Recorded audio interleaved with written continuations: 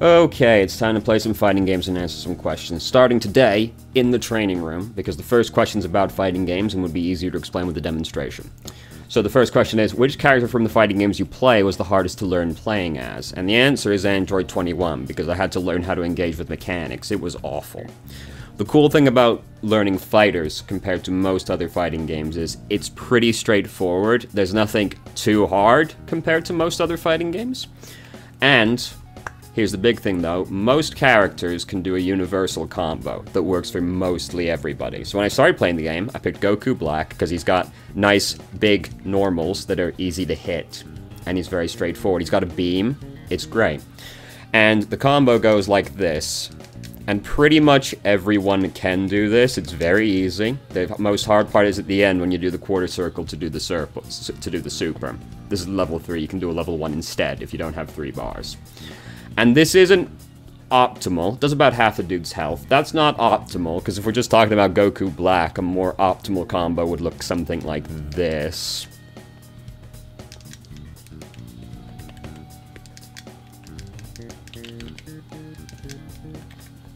Which has the benefit of looking cooler, and then also does almost 2,000 more damage than the basic combo. But so, if you try and play Android 21 and do the universal combo, hey, it looks like it's going great, and then, oh no, it doesn't work. Because Android's jumping heavy doesn't return the guy to the ground.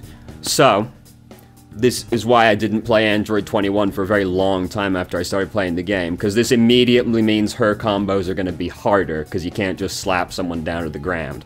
Because that's what a lot of the game comes to, is like, how do you get the guy back down to the ground after you finish the combo? Which is why, instead, for Android 21, you have to do something like this. And even if you don't carry the combo on, it puts them in a better position. Because if you just end it in the air without knocking him back down, he could do whatever the fuck again, right? But at least then you've taken him back to the ground. It's not ideal because it doesn't put him in a sliding knockdown, which is what the Ender would do for most people, but you're at least back on the ground, you've got more control over it. And then it's like, alright, well, if I have to learn how to do that as Android 21, I might as well then also learn how to do a slightly more optimal combo, which involves using supers. And then you drop it at the end, but whatever, you get the idea. So, and then it's like, well, this was for the best that I had to learn eventually, because then it's like, hey, we might as well just learn how to do optimal combos for most of the boys we play as instead then. Nope. Eh. Goku Black's is way fucking slow, dude. Goku Black is such a boring character, dude. He's so... Nice and straightforward, but so boring. Whatever. Anyway, there's a there's an ender to that combo that also works better, where you combo the guy and then you do the level 3, which, you know, looks great, hooray, fantastic. And then it also does, like, 8,000-ish damage. Um, I'm still bad at execution, but, you know, I had to learn how to do some execution stuff for Android 21, and that's why she was the hardest character for me to learn how to play as. And now, with that done, we'll go over to the replays, which we have to go back out to the lobby. Oh god. And then we have to walk all the way. We don't have to walk all the way over. We have to wait for it to load. Oh god. And then we have to walk all the way over to the little clone man over here. And we can disconnect the controller. Fucking ideal. Perfect. Fantastic. And we can start a game. So, there you go. It was Android 21. Then, the next question is, you've mentioned that you don't really improve in quick play because people don't play normally. Is this true for open queue also? How does it compare to role queue for really learning the game and your hero? It's definitely better than um, quick play is. It's still not really ideal because people don't, like, really take open queue as seriously um, as role queue, but uh, there, you know, it's attached to the competitive button in the interface, so people take it more seriously. The problem is you can still just end up with like wacky team compositions that like you'd never actually see, which means you need to do like weird stuff to compensate. But like, let's be honest, currently right now, most of the time you're really just playing with Roadhog Zarya anyway, so you're playing with 4 DPS in most games regardless right now anyway. So I guess really, OpenQ is practically indistinguishable now, now that I think about it more. Hmm. Yeah, it's better than uh, Quick Play, but I mean, simultaneously, better than Quick Play is not exactly a high bar to pass, really. Um, but yes, it's definitely better, but not ideal. Uh, it's probably somewhere ha like halfway between Quick Play and Roll and Roll Q. Um, definitely better if you're just trying to learn how to play someone. Then, next question. Would you ever consider doing shoutcasting for games like League, Overwatch, or fighting games? Probably not for League, because, like, frankly, like, that would be hard. Also, just like MOBAs have, like, a lot of dead time going around in there that you'd have to fill space in, and that would be hard. Uh, but I wouldn't really mind doing it for like Overwatch or fighting games, you know. Fighting games like most commentators for fighting games are like really bad and I feel like I could do better than a lot of them. Um, to be honest with you. Cuz you watch most of them and they just sort of go like, "Ow! Ow! Ow!" I remember like watching one FighterZ tournament, and the commentators were just like arranging what their lunch plans were gonna be in the middle of like the semi-finals. And I was like, man, come on. This isn't really what you're here for, but you know, whatever. Um, so I wouldn't mind doing it, but, uh, you know, we'll see if that ever happens. Next up, expanding on shoutcasting, would you ever consider doing your VOD reviews live with the person who submitted it on in a stream? Uh, probably not. I've been asked this one a few times before, and the main reason, to be perfectly honest with you, uh, is just that I'm someone that suffers from social anxiety, and I really hate interacting with people that I don't, like, personally know. It's very hard to convince me to meet new people, really. Uh, so this would be something that would uh, give me far more stress than it would be worth doing. Um, the other thing is that I usually do most of my recording at like 4 in the morning. Uh, so which usually doesn't line up for most people schedule-wise anyway. But uh, no, not really, just because, Jesus Christ, human beings? Oh my god. I don't like talking to human beings very much is all, all of my friends can tell you, like the three friends I have, it's very hard to get me to interact with anyone that I don't already know. So, probably not. Next up, how do I stop toxic slash tilted teammates? And the answer is, eh, you can't really. It just kind of can't be done. Because, um, what are you gonna do? You know, like someone that's toxic you're not gonna convince them the error of their ways in the middle of a game, and they're not interested in anyway, right? Like, you're gonna see this guy for like five minutes. It doesn't matter how how beautifully you articulate this fucking speech you've got prepared. This isn't the right format to be convincing somebody that their toxicity isn't is is not the way to be. You know, you're not gonna convince them. You can't stop them. Tilted people, similarly, but then there's the extra additional hassle of they currently are not in an emotional state where they're going to listen anyway. Someone who's toxic is just an asshole and won't listen to you out of spite. Someone who's tilted is also not in the frame of mind to be convinced otherwise, because they're mad. You know, it's kind of the thing with being tilted. You're not really rational at the time. So you, uh, you kind of can't. And toxic people, they just won't. Um, there was someone in the Discord server a while ago that I just banned because I wasn't prepared to even try. But, like, the gist of it went that, like, I should be allowed to just quit out of whatever games because who gives a fuck? And I was like, no, you definitely shouldn't do that. And they were like, basically, they were like, well, why? Well, because you're being rude to other people. So?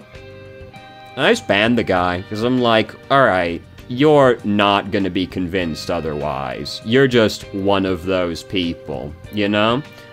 It's not worth, like, getting into this thing where you're gonna convince yourself that you're going to convert this toxic person to think the better of their ways, you know? It doesn't work like that. Like when people start interacting with the troll and they're like, there's a game I played a while, not that long ago, where somebody was like, ah, nah, but you should respond to the trolls, you see, because they're ashamed of what they're doing. And it, like, destabilizes them or something. No, it doesn't. They're not ashamed of what they're doing. If they were ashamed of what they were doing, they wouldn't be doing it. So, it's not worth worrying about these things. You can't convince people otherwise. Following up from that, what to do if teammate is throwing. Report them and start playing the next game. This is the thing with video games, but also just sort of life in general, really, is that um, sometimes negative things are going to happen to you, and there's nothing you can do about it except just, like, get the situation over with, and then move on after that. This is one of those things. You know, it is possible to make no mistakes and still lose. Sometimes somebody is going to pick Sombra and literally do nothing but throw themselves off the map the entire game. There is nothing you can do. You have lost that game in all likelihood, unless somebody on your team is a fucking god. Like, if you have a top 500 Widowmaker Smurf on your team, you know, that'll compensate for this dude throwing. But Overwatch is a very team-centric game. It is very hard to solo carry a game of Overwatch. It is extremely easy to solo throw a game of Overwatch. There is nothing you can do. If the person is throwing, you will not convince them to stop throwing. They are here to throw. That is their, their reason for being here. Or they're throwing because they were tilted, in which case see previous answer. But there's nothing you can do. You just have to learn to not let it bother you so much. GG go next, pretty much. Next up, focus on roll queue or try all three. Or, or focus on one roll queue or try all three. Yes, there you go. That's the correct way to read that. I mean, with role queue, there's no reason really to pick more than one role unless you just personally enjoy playing more than one role, because you can guarantee with 100% certainty you will play the role you want to play. Not necessarily the hero you want to play, but you will play the role you want to play. So you pretty much just have to want to do it. The guy that posted this was... The basic context for it was like, should I do it now? Like, I play support. I'm pretty good at support. I like playing DPS, but I'm bad at it, and I find tanks boring. Should I do the DPS now, and probably get placed low, or should I wait until later and maybe get placed higher? It won't work like that basically. Like, if you're bad at DPS, you need to actually play DPS to improve at it. There are some things that will, of course, carry over from DPS to support, specifically if you play heroes like Ana and Zen, then grow over to, like, Soldier Ashe. Like, positioning stuff and, like, some ability stuff will carry over, you know, not one-to-one, -one, but, like, there's some crossover there. But, like, if you want to get better at one role, you have to play that role. There's nothing else you can do about it. Um, and like, this is a thing that people get into their heads with a lot of stuff, where they're like, ah, I shouldn't do it now, I should wait for the perfect time, you know? Ah, I shouldn't write that book I've been thinking about writing. It's not, it's not the right time to do it, you know? It's never going to be the right time to do something. You just, it's like, everything is fucking hard to do, okay? Like, nothing in life is fucking easy. It's never going to be the perfect time to do something. You just have to do it. If you want to play DPS but you're bad at it, don't wait for the perfect time to learn how to play DPS. Just fucking do it, dude. You want to write a book, don't write for the wait for the perfect time to write that book. Just write the fucking book. Just fucking write it, you pussy. Write the damn book. You want to learn how to draw? There's never going to be the perfect time. Just fucking do it. You just got to force yourself to do things because they're hard. We do them not because they are easy, but because they are hard.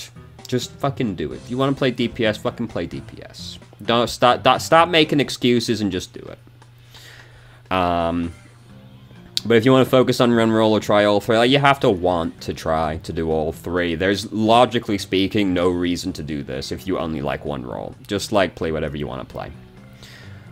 Next up. Should a player be able to solo queue to their desired rank if they should be there? And is it normal to solo queue? I think it's pretty normal to solo queue.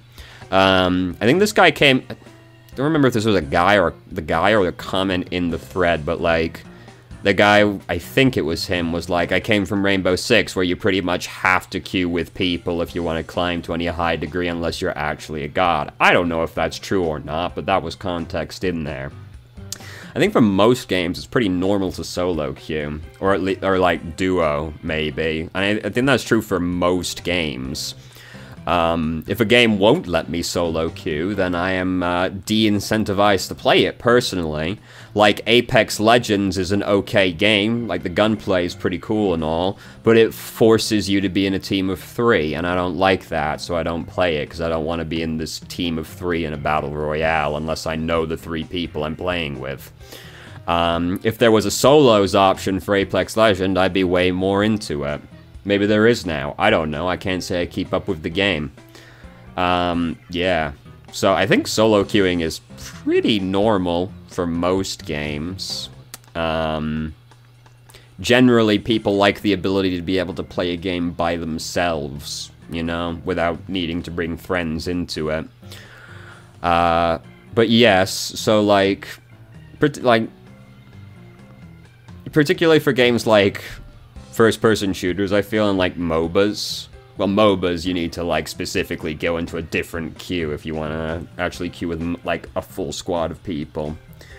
Um, usually, I, I, guess I don't know all of the MOBAs. I might be talking about my ass. But League of Legends makes you do that, and that's the only MOBA that matters because it's the most like commercially well known.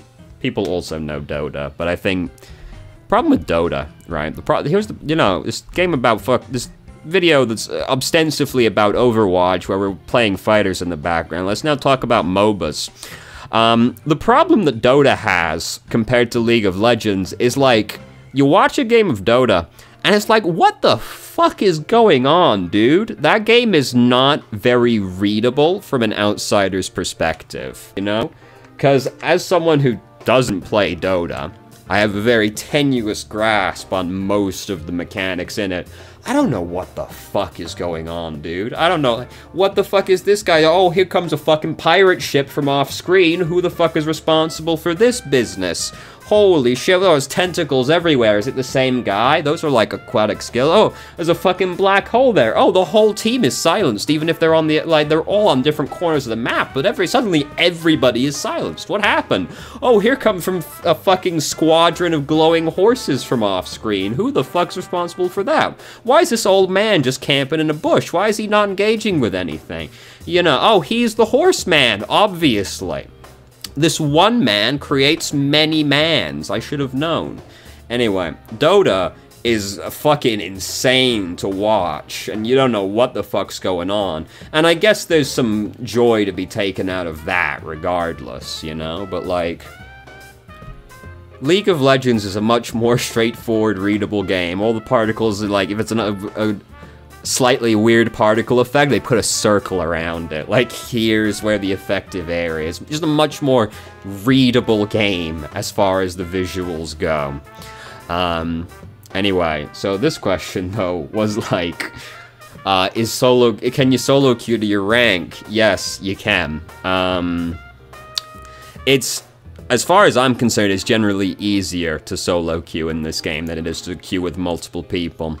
And uh, the reason for this is the more people you're queued with, like in a stack, the more the higher the likelihood that you're going to be playing against an equivalent stack or close to.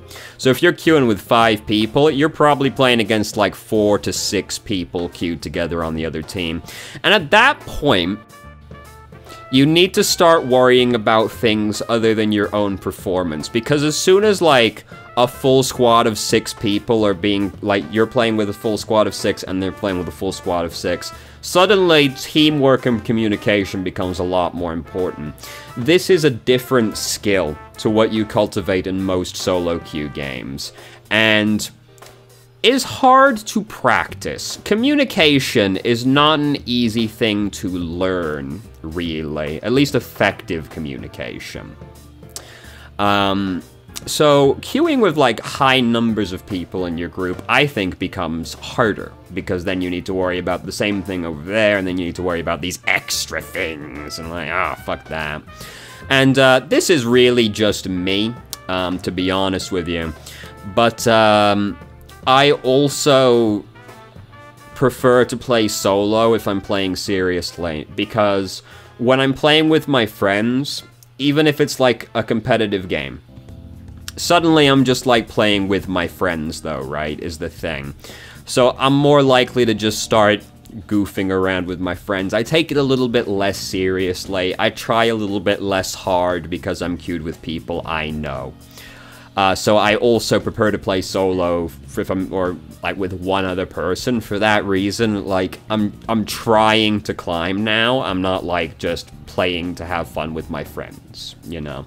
That's me specific. That's a me specifically problem, though. Other people may not have this issue, but I find soloing easier for that reason as well. But uh, yeah, I think soloing is solo queuing is pretty normal, and yes, you can absolute you should absolutely be able to solo queue to your desired rank if you should be there. So next up, is Lucio still viable? So, in conclu in short, yes, every character is still viable. Unless you're in, like, GM. Maybe. You know, maybe Masters, we take it down to that. If you're going to be really conservative, we'll go to Diamond. But until you get there, you can do whatever the fuck. Also, like, if you're really good at Lucio, he's probably, like, one of the best supports you could possibly play. Because, like, you can carry a game as Lucio. And he has, like, utility that is still, like, really hard to find anywhere else in the cast. Like, Speed Boost is an entirely unique utility that Lucio has, and Speed Boost has been and always will be very strong as a utility. Speed Boost is very good. And then Sound Barrier is also very good, being one of only two defensive ultimates in the game. Makes it very good. So Lucio will remain viable at pretty much all points in time for this reason. Um, that he has, like, good utility. But also, like, if you're good at Lucio, you got a good chance of just being able to, like, carry the game, really. Uh, he's probably not as good as, like, Ana for carrying a game, but, like, he's he's up there if you're really good at Lucio. Really good Lucio players are fucking phenomenally obnoxious. Just, like, absolutely tremendously terrible people. Um, so yes, Lucio is still viable. But like also just don't worry about this so much. There were like five questions I saw on the subreddit this week about this. Like, is X still viable? Can you still play Y? Yes, you you can. Like, fucking do whatever the want you fuck you want, Chief. Like, that one guy, this was pre most recent nerf, but like that one guy got to top 500 playing literally nothing but Brigitte it, it showed like his position on the screen or his position in the top 500 and it usually shows you like their top three most played heroes. He only had Brigitte in that section. He just had two empty slots. So like if you're and that was pre pre most recent nerf. I don't know if he's done it since but you know if he could get to top 500 just playing Brigitte before this patch like still only one patch back you can do whatever the fuck if you're good at that hero, dude. Like, if you're good at hero, you can climb as hero. That that is life. You if you are good at hero, you climb as hero. Uh, if we talk about League of Legends again, uh, there have been a great many people who have gotten up to the highest ranks playing only the one hero.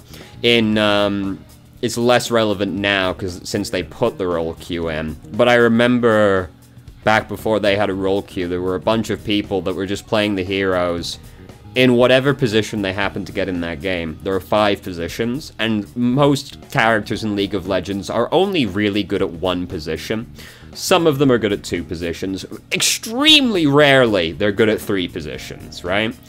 And before that, before they put the role queue in, which was terrible, by the way, absolutely awful, but before then, you would just queue into the lobby with five people, and you would uh, call what position you wanted in the chat, but there was nothing to say you were going to get that. You were just trusting that four other people were going to go along with you. Because if you wanted to play, like, mid lane, one of the most popular roles in the game, if you wanted to play mid lane, but you happened to pick last, all four people that picked before you had to just agree to let you go there. So, there were people who played, like, just one character, and they would play him or her regardless of the role they got in the game. Bearing in mind, most people are only good at one role. So, like, I'm playing, like, Mordekaiser as a support. Oh no, this is terrible, absolutely awful, oh god. But they get all the way up to the highest rank just playing this one guy. People, if you really want to play a character, it doesn't matter how viable that character is, it doesn't matter what the current metagame is, all of this is irrelevant. The only thing that actually matters, when you get down to it, the only thing that matters is if you are good at the hero and if you are good at the game. That's it. Your personal skill is the only thing that actually matters. Now, you might make it harder for yourself, you know, I make it harder for myself in like every single game I play as because I don't really like to play the most popular heroes. Which is why um, I'm going to be really sad if when Roshi gets added to FighterZ this uh, month. I'm going to be really fucking sad if he ends up being the best character in the game because then I'm not going to want to play Roshi even though I've been waiting for Roshi since the game came out. I'm already probably... I'm going to stop playing Ultra Instinct Goku because he's like the most popular character in the game by far because he's really good.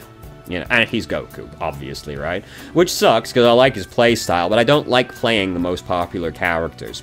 Android 21, I have played for an extraordinarily long time now. She's the most ca played character I have by far. She is literally just a worse version of like three other characters in this game. Kid Buu is basically Android 21, but better in like pretty much every way. It's just how these things are. Um, so I'm gonna play like Gogeta again instead of Ultra Instinct Goku probably, and like he's just not very good compared to a lot of other people, but I like him, god damn it, and that's all that fucking matters. It doesn't matter, meta doesn't matter, Viability of the character doesn't matter. All that matters is your personal skill. Don't sit around wondering if X is viable, if Y is viable. Play whoever the fuck you want to play in every game that you play. Just play whoever the fuck you want to play. Remember also, it's a fucking video game, dude. We're meant to be here to have fun. Now, I personally am the sort of person that likes to torture myself in every single game I play. I play a game like Devil May Cry and I'm like, I gotta get the S rank in every single stage, which is uh, varies from being merely difficult to being fucking ridiculous, depending. But you know, I gotta do it. It's who I am. I gotta not play the most popular characters because they're popular. I've gotta be the contrarian, you know? You just play who you like. All games. Video games are meant to be fun. Stop taking it like another job, you know? Okay, so next up, and this is the last question for this game. What are Hanzo's weaknesses? To be honest with you, Hanzo's only real weakness is the character play, or is the person playing Hanzo. Like, the characters that like most counter Hanzo are like divers and flankers. But if you're good at Hanzo, they won't actually kill you. Because most people are going to be like, alright, I'm going to counter Hanzo, I'm going to pick Winston, you know? If the Hanzo's good, Winston's actually probably going to be the one that dies, rather than the Hanzo. Similarly, like, if the Genji is, if the Hanzo is better than the Genji, the Hanzo's probably to kill the Genji. Like, Hanzo's actually, like, if you're good at Hanzo, Hanzo's actually really good. Um, some people will also argue that, like, Widowmaker um, beats Hanzo. I, I disagree with this assessment. I feel like 9 times out of 10 when I see a Hanzo fight a Widowmaker, unless the Widowmaker is literally a god, like actually a divine being blessed by Jeff himself, or po possibly even Jeff himself, the Hanzo wins. Like, the thing is, right, that like if you look at it strictly speaking, hit scan Hitman faster than projectile. Therefore, Widowmaker beat Hanzo because Widowmaker hit scan Hanzo not, and Widow click head Hanzo dead.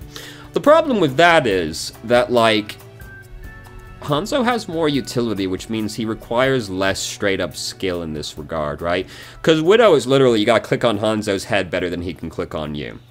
But Hanzo has easier access to his version of Infrasight, and he's got more varied movement that he can do on demand.